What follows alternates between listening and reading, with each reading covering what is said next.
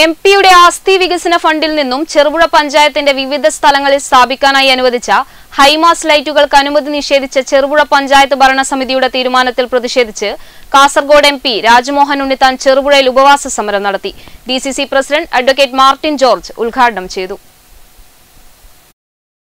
M പിയുടെ ആസ്തി വികസന ഫണ്ടിൽ നിന്നും ചെറുപുഴ പഞ്ചായത്തിന്റെ വിവിധ സ്ഥലങ്ങളിൽ സ്ഥാപിക്കാനായി അനുവദിച്ച. ഹൈമാസ് ലൈറ്റുകൾക്ക് അനുമതി നിഷേധിച്ച ചെറുപുഴ പഞ്ചായത്ത് ഭരണസമിതിയുടെ തീരുമാനത്തിൽ പ്രതിഷേധിച്ച് കാസർഗോഡ് എം പി രാജ്മോഹൻ ഉണ്ണിത്താൻ ചെറുപുഴയിൽ ഉപവാസ സമരം നടത്തി.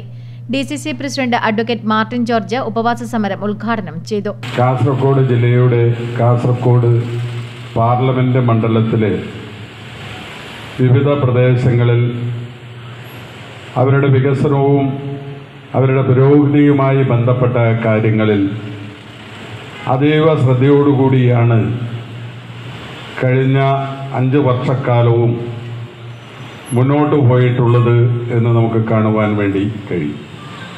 കാരണം അത്രമാത്രം ജനകീയ ബന്ധം കാസർഗോഡ് പാർലമെന്റ് മണ്ഡലത്തിൽ അദ്ദേഹത്തിനുണ്ട്. U D F chairman Alayil Balakrishnan അധ്യക്ഷത വഹിച്ചു.